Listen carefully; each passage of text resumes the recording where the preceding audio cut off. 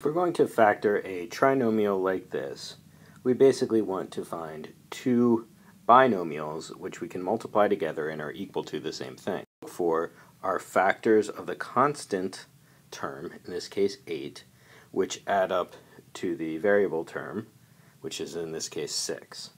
So possible factors of 8 are 8 and 1, or 2 and 4. Now we note that 2 times 4 is equal to 8, while 2 plus 4 is equal to 6. So these are the factors that we want. Therefore, this trinomial can be written as x plus 2 times x plus 4. In factored form, but we can just check by FOILing. x times x is x squared. Then if I do x times 4, that's going to be equal to 4x so it's x squared plus 4x plus 2 times x, which is 2x, and finally 2 times 4, which is equal to 8.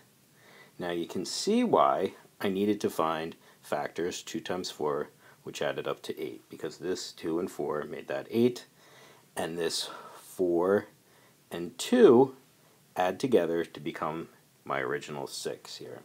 So this is in fact equal to x squared plus 6x plus 8.